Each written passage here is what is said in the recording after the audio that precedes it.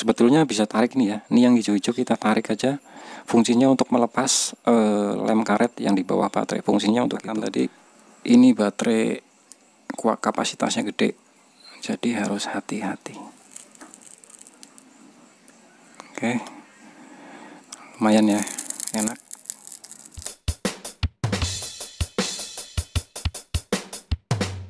Assalamualaikum Sobat JPKWR Kali ini saya kedatangan pasien HP Infinix Hot 9 Nggak tahu ini Hot 9 Pro atau Play ya. Karena saya juga baru dapat ini Baru pertama kali dapat. Untuk membuka backdoor ini nggak perlu susah-susah. Kita cukup mencongkel saja ya Nggak seperti HP Oppo kemarin tuh Oppo A5 2020 Kemudian eh, Redmi seri terbaru itu kan harus menggunakan blower ya Karena backdoornya dilem. Kalau ini cukup simple gunakan saja ini SIM tray ya. SIM tray kita lepas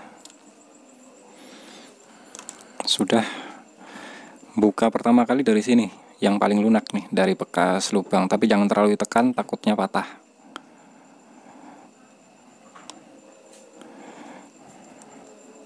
Nah kalau enggak kalian gunakan e, benda apa gitu yang tajam?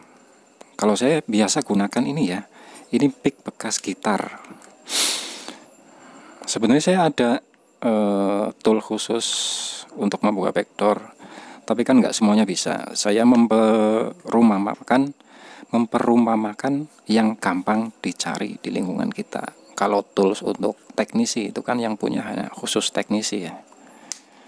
Nah seperti ini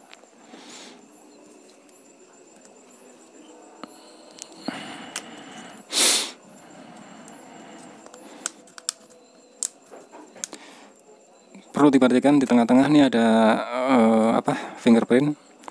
Jadi narik backdoornya jangan dipaksa.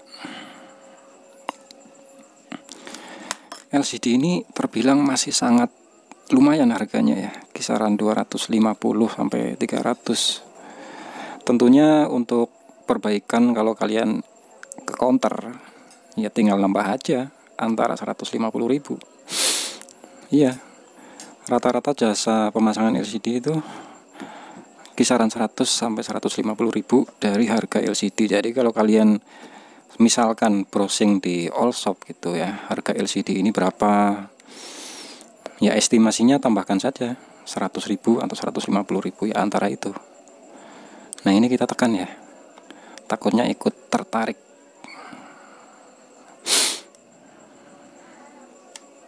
tuh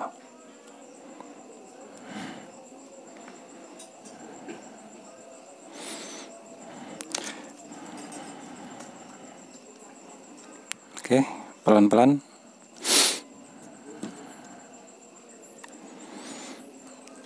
PR juga nih ganti LCD dengan kondisi frame seperti ini.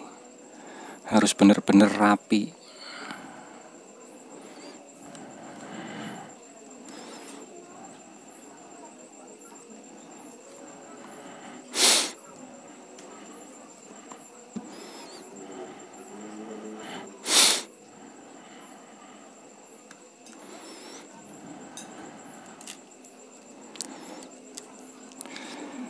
Sepertinya di bagian kamera ada sedikit lem ini. Nah,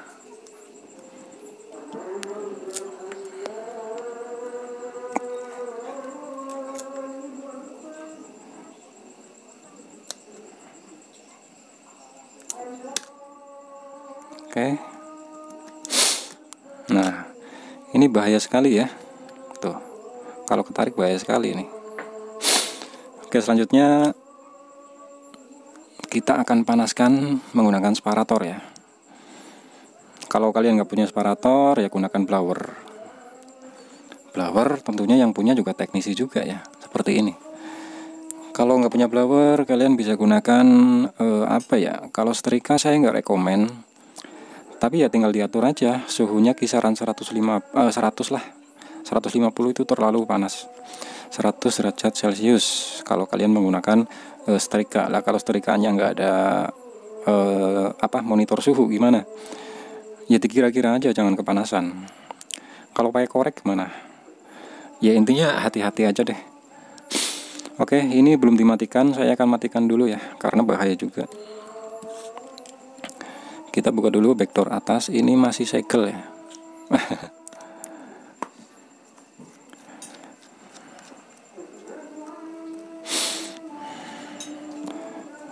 mudah-mudahan nih framenya nggak bengkok ya karena kalau bengkok PR lagi saya.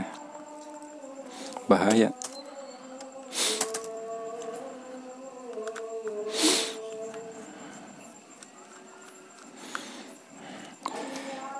Infinix Hot 9 Pro baterainya 6000 wow bahaya ini baterai 6000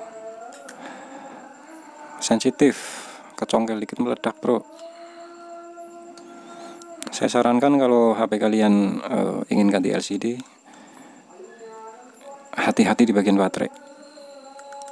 Pengalaman teman saya nih beberapa kali nyongkel padahal dia udah senior ya.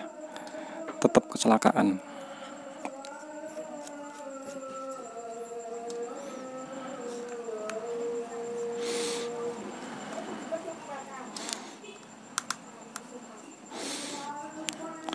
penting kita amankan dulu nih soket ininya apa? Soket baterai ke mesin kita lepas dulu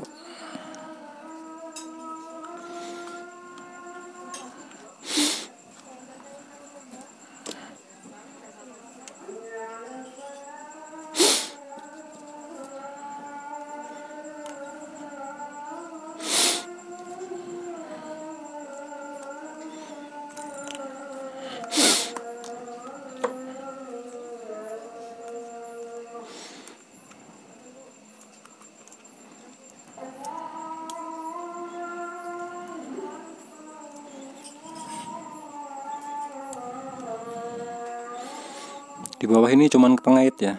Kita bisa tarik pelan-pelan aja. Nggak apa-apa. Terus kita ada baut satu lagi ini.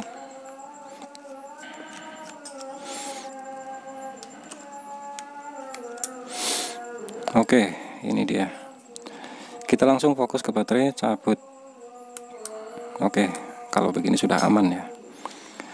Selanjutnya mesin bawah ini baiknya kita lepas saja sebetulnya bisa tarik nih ya. Ini yang hijau-hijau kita tarik aja. Fungsinya untuk melepas e, lem karet yang di bawah baterai. Fungsinya untuk itu. Tapi kalau posisi mesin bawah ini masih tertutup seperti ini e, kemungkinan besar akan putus. Nah kalau putus kerja keras bro.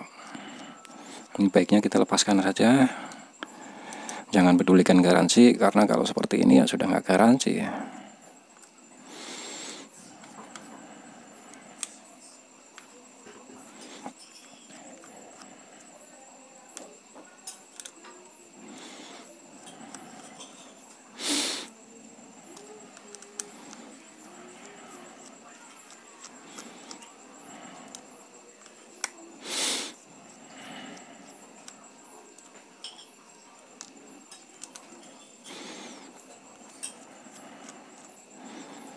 sebetulnya ada trik khusus untuk menjaga apa segel kalian gunakan benda tajam seperti pisau apa gitu. Pelan-pelan aja tarik seperti ini. Tapi banyak gagalnya sih. Karena stiker ini stiker ini apa uh, emang didesain untuk kalau disentuh sobek. Susah. Tuh tetap sobek bro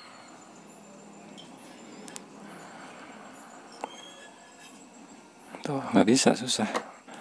Saya nggak sabar ah.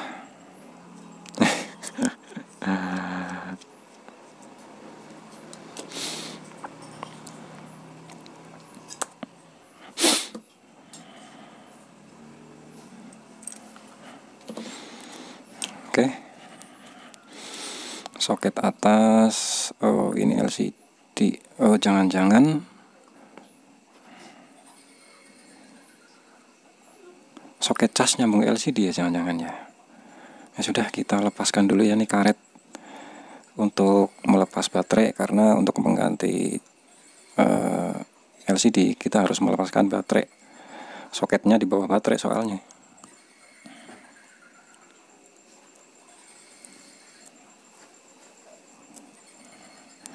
Nah bagian ini nih penting nih krusial banget nih hati-hati ya. Jangan sampai putus saja.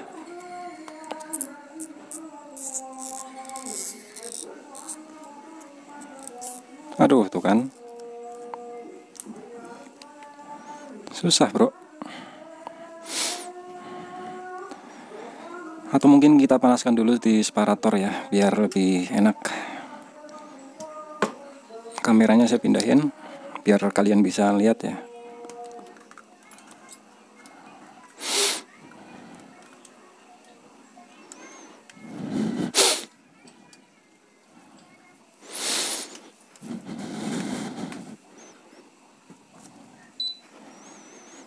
Di sini saya menggunakan separator merek Nasan SPA set di 80 saja.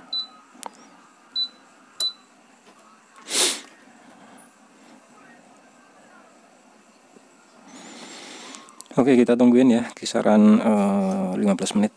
Videonya saya cut. Oke guys ini sudah saya panaskan selama 15 menit kita coba apakah ada mending ya.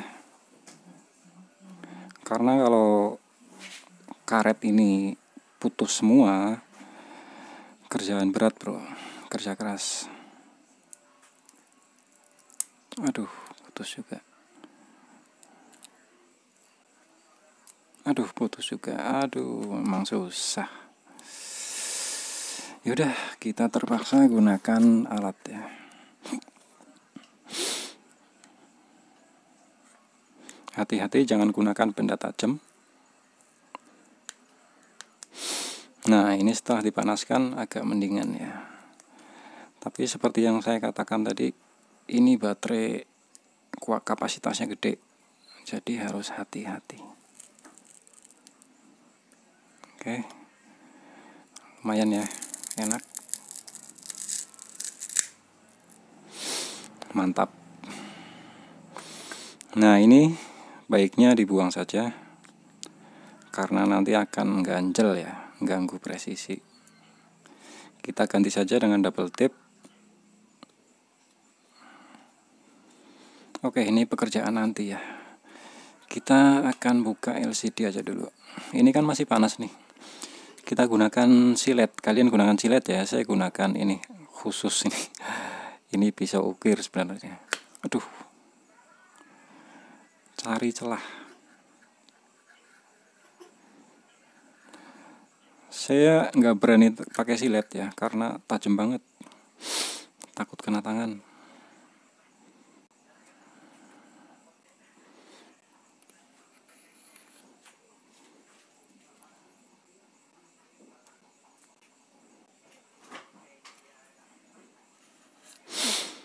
Keras bro. Kita panaskan lagi ya dengan suhu 100 oke.